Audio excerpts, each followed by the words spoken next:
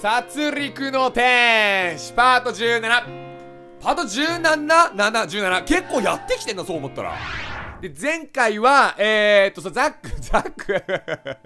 ここから始まるのが前回はねザックと会って一緒に行動して、えー、さよならするっていう一パートで会って別れ出会いと別れを経験するっていう奇跡の回だね。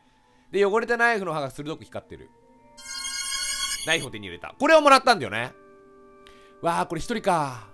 このナイフ私ちゃんと使えるかな？だかごめん声が枯れてんだよねえー、っとセーブしてまあ、ザックはもう死んじゃったでしょ？もう死んではいないんだけど、ほぼほぼほぼほぼ死んでる。瀕死状態でしょ、もう。うわうわえ、お、なにもうこれか出たそういえば、あいつどこ行ったんだ、グレーおじさん。この甘い匂いは、これ、ダメだ。頭がぼーっとする。良くない匂いだ。早く。早く行かなきゃ。何なんだろうね、この匂いっていうのは。なんか変な変な薬みたいな匂いするのかな。ついに全部のセーブが埋まってしまった。どれがなんでどこのセーブか皆さんわかりますか？私わかりません。なので、ここにセーブしよう。門が閉まってる。うーん、門は固く閉ざされている。なんかあったっけ？開かない。何か仕掛けでもあるの？この右のやつは何なんだろう？周りは水しかない。水の中に何かあるかな？親切。もう水の中に何かあるから言うんだもんね。水の中に何かあるかなって。なんかあったっけ持ち物。ポシェット、交代ナイフ。え、近づくとわずかに刺激臭がする水が流れている。え？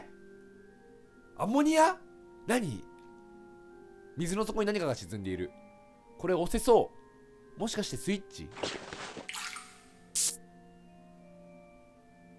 この水、触れたら焼ける。うなんだろう？なんだろう？なんだろう？塩酸？硫酸？なんだろう？水には触れないようにしてこのスイッチを押さないと。ああ、そういうことか。じゃあこのさ、この、これを持ってさ、なんかグッと押せばいいんじゃないの？あ、そういうことじゃない。ああ、包帯、ナイフかな？あ、このナイフなら、この水につけても大丈夫かな？合ってた割と適当にやったんだけど合ってたあわかったナイフを使っていくのかなそういうわけでもないのかな開いた。でも包帯もあったから包帯、でも包帯はなんか違うよな、多分。ナイフは、うん、大丈夫。もうこれでいっていいのかな待って待って。セーブしよう。えー、っと、なんか誰か来そうだからな。あー、え？あ、謎解きになってんのか。門は固く閉ざされている。ここもか。これ右の青いのがすげえ気になる。あ、大きなレバーがあれで開きそうだけどな。レバーがあるが動かない。動かすには電力が必要なようだ。おー。お、電気コードがあるが途中で切れてしまっている。電気を通せば。えー、っと、ナイフは、そうそう俺もね、今思ったの。ナイフ金属だから電気通すよなって思ったら、まあ、たまたまレイチェルが先に言ったけど、今、今、今、レイチェルこれ言わなかったら俺言ってたからね。危なかったわ。危ない危ない。レイチェル危なかったよ、本当に。大丈夫かな？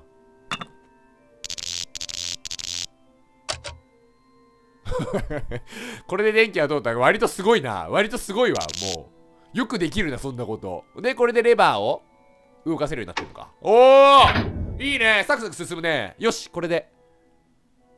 早く電気コードからナイフを、あ、ナイフ取ってなかったんだ。ナイフによって電気が通っている。で、ナイフ。ナイフをね。ナイフってなんかね、あのー、結構、使い方によってはね、ナイフが危ないものになるからね。危ないフってなるからね。ナイフ危ないフみたいなねえ。絵が少しだけ溶けてしまってる。歯はまだ大丈夫だけど、こんな使い方ばっかりして大丈夫かなまあ大丈夫じゃない？だってザックのナイフでしょ、まあ、最悪壊れてもいいみたいな。壁には鏡がかけられている。もうここに至って何すればいいんだろう？わかった鏡の奥に実は通路が繋がってるみたいな流れじゃない？どうしよう。他には何もなさそう。この鏡。ナイフ、ちょっと、え？そんなナイフ頼る？そんなナイフ頼るか？ナイフで割れるから。待って、鏡にあのナイフをやったら、キーみたいな、なんか俺あんまり、なんていうの、あの音が聞こえそうなんだ。キッキッキッキーみたいな。自分でやった割に、あ、下手くそだな、この擬音。えー、もうやってみるか。チチみたいな。あえー、すごい割れた。すごい割れ方した。柄の部分でゴーンじゃんそれもう。刺さった。なんだかナイフがナイフを刺してるみたい。あ鏡だからね。ささ刺さった。今思ったら刺さったってすごいことだな。刀は刀じゃねえや。鏡は硬いけどザックのナイフなら割ることができそう。よし。割るね。すごいね。何何？あ今の血の表現よくフリーゲームとかである感じの絵の見える。ナイフが。鏡は割れたけどナイフの刃もかけちゃった。あらー怒られるんじゃない？ザックに怒られるんじゃない？でもねさりげなくさ寝てるところシュッてなんか腰の部分とかにふって入れとけばさ戻しといたよみたいなでザックが何これかけてないって言った時にえー、知らないとか言えば大丈夫だろ。これ多分奥行けんだろうな。ごめんなさい。ザック。あらなんか重たくなってない？随分と。えー、鏡の奥は通り抜けられそうだ。あやっぱりね。ここは通り抜けれるんだね。あ待って。なんか聞こえる。オルガンが聞こえる。うわーこれじゃあ近いってことか。ここもなんかあるのか。オルガンの音この奥から聞こえてきている。セーブした。奥進んで OK 行こう。おここは？おおおっと？音がでかくなってきてんだ。何なの？この甘い匂い。あ動けない。誓いをしたとしてその誓いを神が選ぶか君には分かるのかね。もし神の御心が違った時君はどうする？神なんざこの世にいねえんだよ。やだ。今までのグレーおじさんとザックの言葉が蘇ってきてるね。嫌だ。嫌だやめて。すげえ嫌だで嫌だで自分自我を取り戻してすごいな。ザックに殺されたい。ザックを知らせたい。別にさ笑うシーンだよね。なんかすげえメンヘラみたいな発言してんな。ここだけパッて見たらなんかすげえ危ねえこの発言だよ。ザックに殺されたい。ザックを知らせたくない。私のザック私のザックって言ってそう。でも神様が認めてくれなかったら神様がいなかったら私どうすれば？もういいんだよそんなこと考えなくてよ。とりあえずダメだ。今はそんなこと考えちゃう。そうそうそうそうそうそうそう余計なこと考えるな。とにかく早く薬薬を手に入れない。そうだよね。ザックが本当に危ねえからな今。えー、セーブして多分いるんじゃないかな。あいた！戻ってきたねここに。これであ動けるけど。なんだこれは？椅子があってまあ話しかけるか。来た。一人でどうしたのだね。レイチェル・ガードだ。もう発音よくをやめるからね俺は。ザックはどうした？捨ておいたか。違う。ザックが動けないから私が薬を探しに来ただけ。ダニー先生がこのフラーに来たことも薬を持ってることも分かってる。だから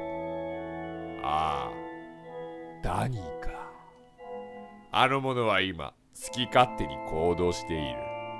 本当にいつからああなったのか。ああそういえばダニーがここへ君を引き入れたのだったな。だんまりかね。それよりここに薬はないの？ダニー先生は薬を持ってどこへ行ったの？確かにあいつどこ行ったんだろう？ダニーは様子がおかしいようでな。少し姿を見せたが。さあ今はどこにいるのか。ただ少し勝手が過ぎたのでな。私がいくつか薬を取り上げている。じゃあその薬を。じゃあ薬がどこにあるかあなたは知ってるの？ああ。お願い。薬が欲しいの。そう簡単に手に入ると思うか。レイチェル・ガードナ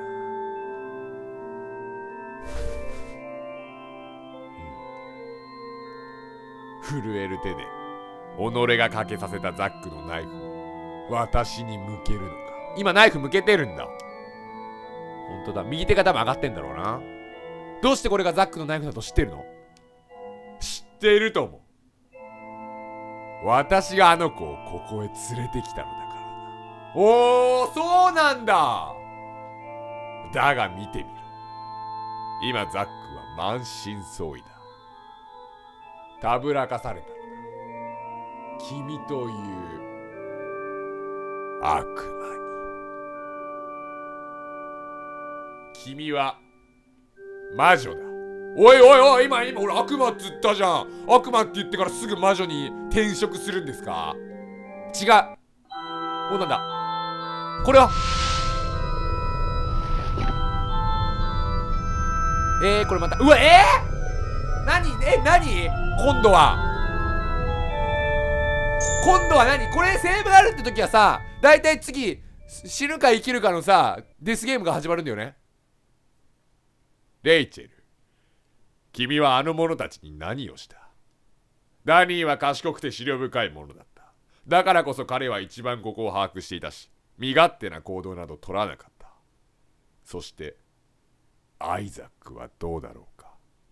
彼はとても単純で言い換えればとても純粋なものだ。それが今お前の殺されたいという願望のために手ひどく扱われひどい目に遭っている。それらは全て君にあったからではないか。私は何もしてない。君が不思議なのだよレイチェル。君は何者だ。答えなのか。え待って。ここは親善であると言ったろああ。君はやはり本当は神だと信仰しておらぬのだ。もうこれ真っ暗だから今どの状態で喋ってるのか分かんないんだけど。いいえ。神様がおっしゃられることは守るべきことだと思ってる。ならばそれはなぜだ。なぜそう思えるのかね。答えない。のではないな。答えられないのだな。レイチェル・ガードナー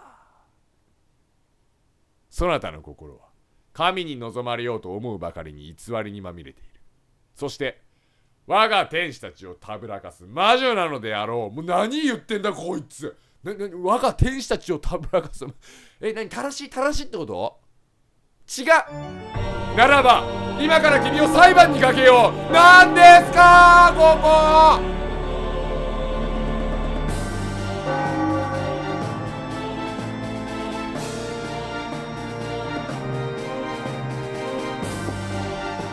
すげえ。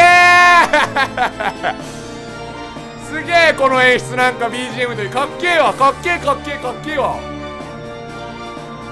神は清らかなものを好む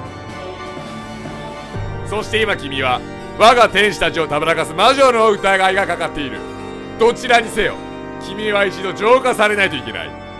私は魔女じゃない。いや君はアイザックと契約した魔女ではないのかね。ザックとの約束は神様に誓ったことよ。ほう。神ですらお前は盾に使うのか。ならばなおのことを忘れてはならぬ。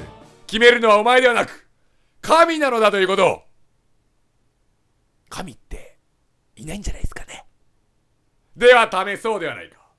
裁判を始めよう。さあこのものについて証言を述べる者はいるか。え？こんな赤いやつらの中からはいじゃあ私とか出てくんの？もしかして。うわはーい！ここにおりますわ。まさかの？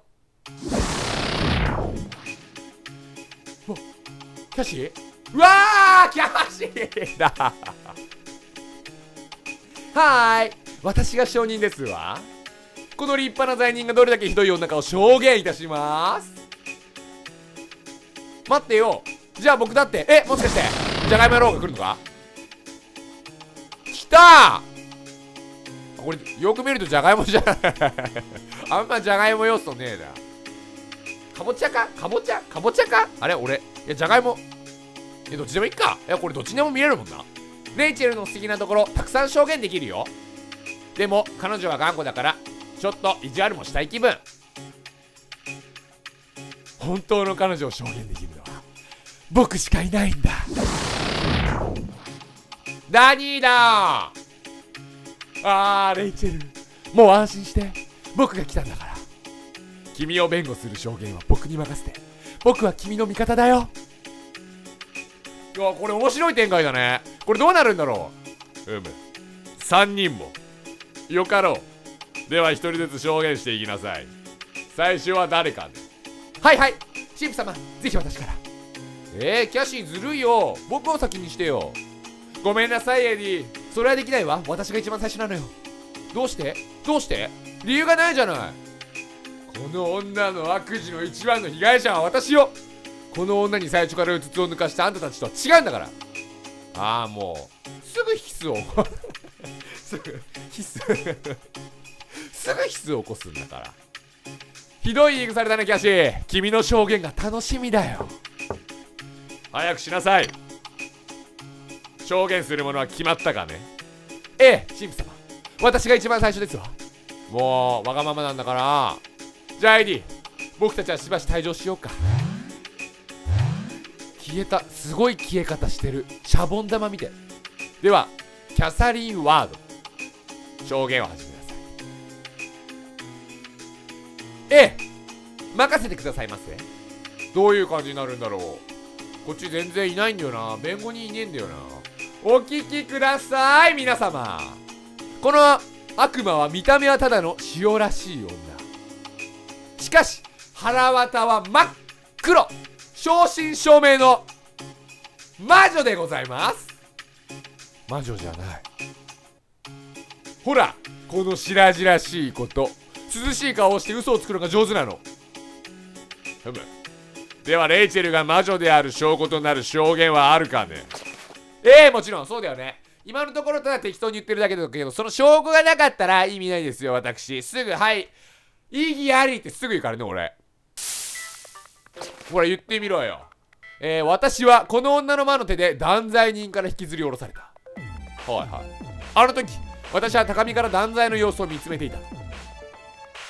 そうしたらこの女に何か言われたザックは自分を切り裂いたのアイザック・フォスターもこの女に罪人としての牙を抜かれたようなものよあんまりにも情けないありさまを見るから温めに来ちゃって私そこで降りてやったの。そしたらこの女しれっとした顔で何をしたと思う？この私を撃ち抜いたのよ。罪人に出し抜かれて断罪人が撃たれるなんてあっていいことじゃない！塩らしい罪人の顔をかぶったとんでもなくずるい女なのよ。だって私をあんなあんなあんなところに落とすなんて。悪魔以外の何者でもないわ！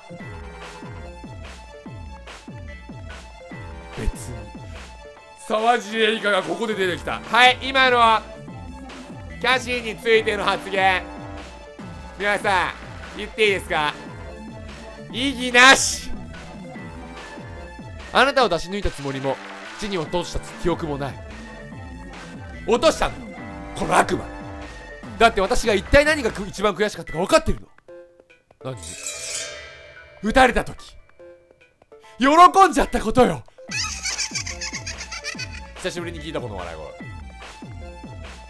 この女はまがうことなき魔女でーす。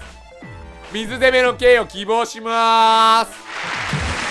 さあ書いても書いてお願いだからあの時以上の興奮を感じさせてちょうだいよ。何水攻めって首のところまで一気に来る感じ？うわ差が冷めてる。そんなに見たいの？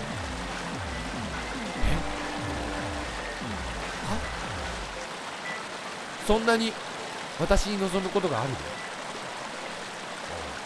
ここまでだ。あ水攻めの刑がない。ちょっと水攻めの刑見たかったな俺少し。ビビってるし。神父様まだ刑は終わってませんわ。まあ確かに。もっとギリギリのところまで水攻めいってうぶぶぶ苦しいっていうところでさ終わるのが一番いいよね。賭博派オーデンゼロみたいな感じの。あったよねそんなシーン刑に処すのはお前ではない。キャサリン・ワード。それに魔女とする者に何を求めている？下がりなさい。うん。まあ確かにあんまりねあんまりそんなにねなんか論破されてる感じじゃなかったよな。では次の証言者よ。彼女について述べなさい。どう？わーいやっと僕だよ。みんな我が強いんだから。少しは思いやりを持ってほしいな。君は子供なのかねレイチェル。エドワード・メイソン。かっこいいなお前の名前。お前の名前かっこいいなおい。エドワード・メイソン。お前はこの者の証言ができるか？うんシープ様。僕できるよ。好きなところも嫌いなところも言えるよ。では始めたまえごめん今日のパートもちょっと長くなるかもしんねえわ。えっとねレイチェルはすごく可愛いよ。特に声が小鳥みたいなんだ。僕が一番好きな声をしてる。それとちょっと僕に似てるよ。年も近いし。それに欲しいものをちゃんと分かってて行動するところとかね。だからこそ君には早く会っておくべきだったなって思うんだ。こいつ頭良さそうだよね意外と。あのね君のことは知ってたよ。でも僕が君に一目惚れしたのはね君が僕と似たことをしていたから。レイチェル僕知ってるよ。B6 のことに君が埋めたんでしょ？ええ。だから僕絶対に君と気が合うと思ったんだ。それに君は死にたいって言うから望みがぴったりだってでもレイチェルはちょっと頑固だったよね。全然僕の言うことに耳を傾けてくれなかった僕はたくさんアピールしたんだよ。いろんなアピールアプローチをしたよ。全部全部レイチェルのためにね。何言ってんだこいつ。でもダメだった。なかなか僕を受け入れてくれなくて。僕は君がイエスと答えて答えるのを辛抱して待ったの。電気もない真っ暗闇の中迎えに行ってもあげたの。挙句に僕はザックに切られて一人ぼっちで墓の中。あら墓が出てきてる。お墓は好きだけど全然望んでないよ。あんな展開。でもそこでようやく僕とレイチェルの一番の違いに気がついたんだよ。僕はレイチェルが欲しかったけどちゃんとレイチェルのためを思って行動していたいんだ。いたんだ。でもレイチェルは違った。レイチェルの行動は全部自分のためだった。ひどいよ。ひどいよ。殺してほしいっていう甘い言葉を囁いておいてそれは全部自分のため。本当身勝手自分勝手。それに頑固すごく頑固。なんでザックじゃないとダメなのかも全然わかんない。多分ねこれもねきっとレイチェルの身勝手なんだ。だと思う。そうだよな。エドワード。エディ自分のためで何が悪い？彼女は全ての幸せを無視してるんだ。こんなのってもしかして魔女じゃないの？僕はそう思ったよ。ねえそうでしょレイチェル？だからね僕は希望します。どうかレイチェルを。針の刑に処して。人思いに落ちちゃえ。そしたら僕が今度こそ幸せにしてあげる。レイチェル冷めてんな。お前冷めてんな。何？もしかして怒ってるの？ごごめんね。でもでもレイチェルが悪いんだよ。喋ってよ。僕を無視しないでよ。ここまでだ、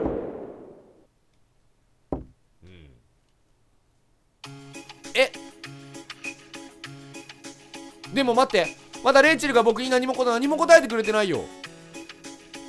魔女を相手にお前は心を惑わされているな。エドワード・メイソン。